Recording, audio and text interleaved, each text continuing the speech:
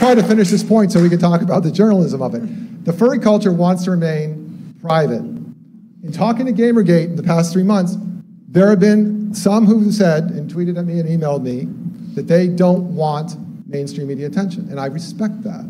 There were many more that said that they did. And in those conversations, we talked about how we have to kind of meet in this middle.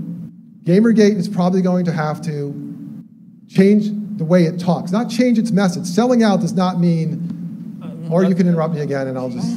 No, no, go ahead. I mean, Wait, actually, can I, can I say something? Because this isn't just Gamergate. I mean, this goes with everything. Like, if you want the media's attention, there's a certain you you approach them a certain way. By attacking them, it's probably not going to be the best way to do it. Um, it, that's not the best way to get anyone's attention, in my opinion. It was But- probably super difficult because obviously Milo, you know what? Can you not interrupt her when she's talking? Thanks. no, but I Because think you know that would be sexist. Well, when someone when someone comes to me with a story, they tell me whatever they might want to tell me. I ask certain questions, and we have conversations in my newsroom about if we're going to cover it. A lot of that depends on what's the what's the outcome and what's the public's interest. How does this benefit the public in any way? How is this going to maybe make the community better? Is this going to expose something? And specifically, this is investigations. And if the answer is it's not going to help, or by us telling this, it's only going to help maybe one person, we're less likely to maybe do it. Those are the kind of the pros and cons that we weigh. We're here for more of the public good, kind of wide range things. So I guess my question to you would be if you came to me and you want me to write about Gamergate, what am I writing about and why? This is the problem because the stated purpose of Gamergate is to, put, you know, to protest bad ethics in journalism. So there's there's already that sort of opposition. So I understand what you're saying. It's, diff- it's, it's difficult because you know Gamergate's default position is journalists are crap. Can you write about how journalists are crap? you know, so it, obviously How that does- obviously that makes the starting How does that relate to. Gamergate? See, I guess that's where I, compared to the conversation that we had with the other panel, Yeah. that wasn't at all the understanding that I took about Gamergate, but maybe I'm, it, I, it wasn't journalists are that? crap. And No, that's what you should write obviously. about. I know, but I guess that was not the takeaway. So I I have a question. I can understand the reluctance of an editor to give the go-ahead for a story that's so amorphous, but it did not stop editors from writing with great authority about something they knew nothing about. They, there were many stories, hundreds of stories about Gamergate. They all followed the same storyline of, of women who were imperiled and, and bad gamers. And it was, this was written over and over and over again. No one had the least inhibition. It just simply didn't occur to them to go to the other side.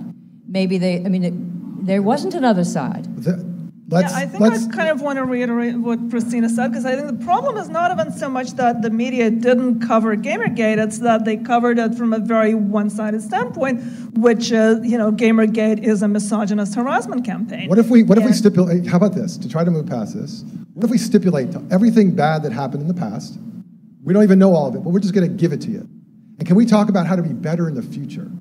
What if we just admit that Let's we all admit it, sucked but, in the but without, but let's mention there were some wonderful examples. There were reporters like Erik Kain and, uh, and Auerbach at Slate. David Auerbach They- at Who Slate. did a wonderful job. Yeah. He tried to get the story and sought people out. They're models of how to cover. And I, once I saw that, I thought, okay, this is going to catch on. It didn't catch on. Okay, let's, no, this, these are good examples. So this is something we can sink our teeth into. So I talked to I talked to David Auerbach at Slate, um, and Erik Kain. Obviously, I've emailed him, and their beats allow them to do something a little different than other mainstream journalists. I think this is an important distinction, and you guys can back me up. That David Auerbach's beat at Slate. He's a tech writer, so he doesn't always write about GamerGate, but he can write about GamerGate. Right. Interestingly, at Slate, there is also a culture editor. And the culture editor can sometimes write about Gamergate. Interestingly, they can have totally different opinions when you read their piece Yeah. because they have, they have beats.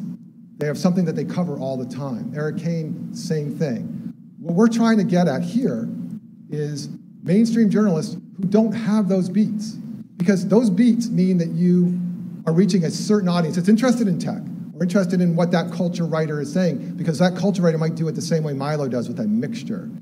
We're talking with Ren and Lynn about assigning general reporters to go cover this movement and to do that better and to do the reporting better. So what we're asking you guys is to talk to these guys about how to do that. So let's just leave behind all the stuff that happened before because we weren't there for it, so we don't know who was right or wrong. And let's talk about how to do it better. So let me ask you a direct question. Getting back to writing a story about Gamergate. If I'm going to write a story about the year anniversary of Gamergate, which is coming up, you know, guys, Milo, you know this, journalists love anniversary stories, right? It's an easy way to get into a topic. It's the one year anniversary of whatever it is.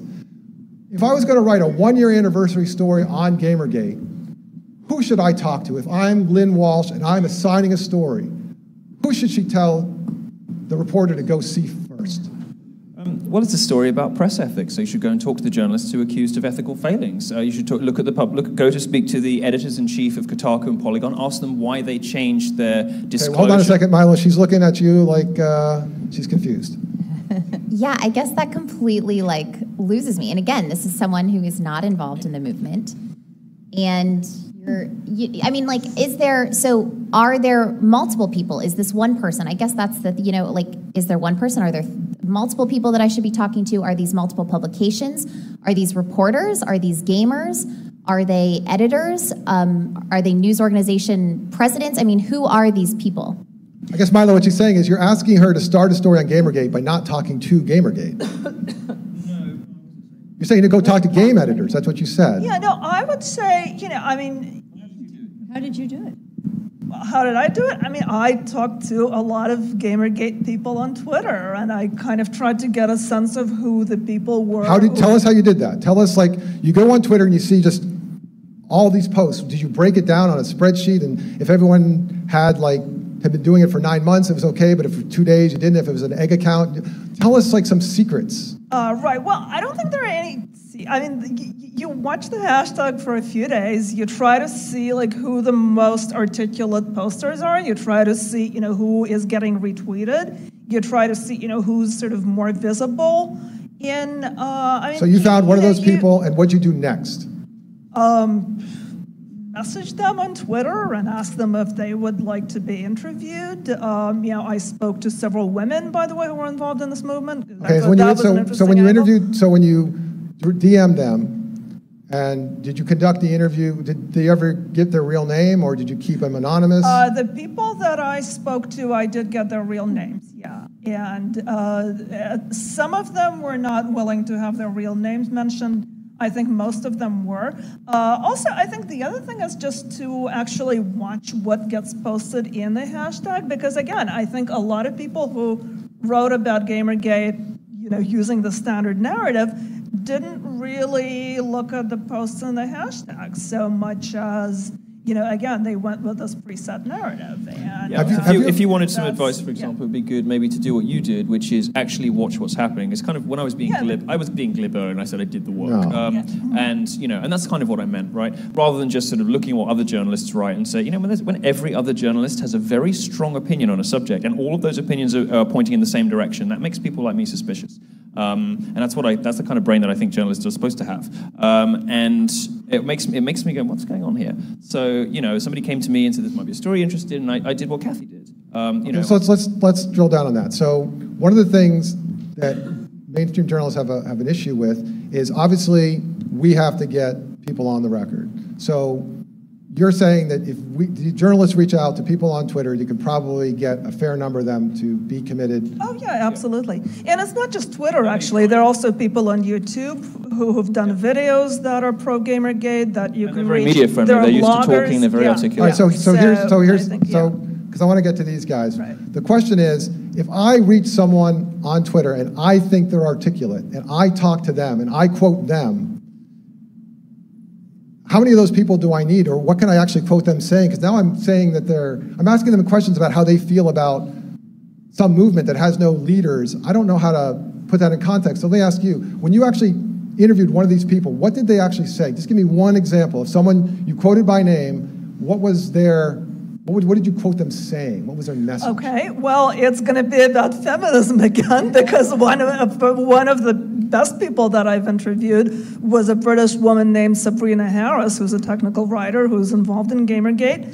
And I specifically asked her, you know, what does she think about the perception that this is a backlash against women in gaming? And she gave you And your opinion. She told me, she gave me her opinion. She told me about her experiences as a female gamer and, you know, her view of uh, the type Okay. of ideology. Right, I- I hear you. So now my question is this.